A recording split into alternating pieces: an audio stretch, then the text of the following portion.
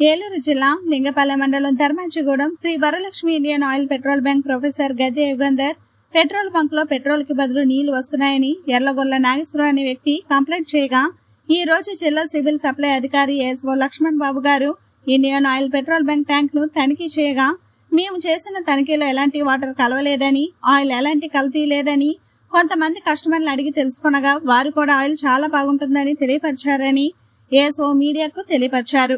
ఈ తనిఖీల్లో ఏఎస్ఓ లక్ష్మణ్ బాబు వారి సిబ్బంది ఏలూరు జిల్లా Indian oil sales officer Sanjeevi Dharmajiguda VRO Durgarao పాల్గొన్నారు. ఇక్కడికి వచ్చినాక మేము మొత్తం కూడా ఈ అండర్ గ్రౌండ్ ట్యాంక్లో డిప్ రాడ్ వేసి దానికి కలర్ పూసి ఇవన్నీ చూసి చేసాము వాటర్ ఎక్కడా కూడా మాకు కనిపించలేదు. యాక్చువల్గా మేము ఇన్స్పెక్షన్ కూడా చేసాం బంకు ఏవైతే ఉన్నాయి సేల్స్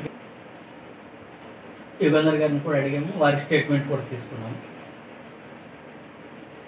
నా మీద గిట్టిన వాళ్ళు ఎవరన్నా ఉంటే ఇచ్చుంటారండి కంప్లైంట్ అని చెప్పేసి మాకు స్టేట్మెంట్ ఇచ్చారు. బంకు సంబంధించి కానీ ఈ వినియోగదారులు పెట్రోల్ పోసుకునే విధానంలో కానీ ఆ పాయింట్స్లో కానీ ఎలాంటి తేడా అన్నీ కూడా కరెక్ట్గా ఉన్నాయని తెలియపరిచారు. మా ఎంక్వైరీలో కూడా అదే తెలియదు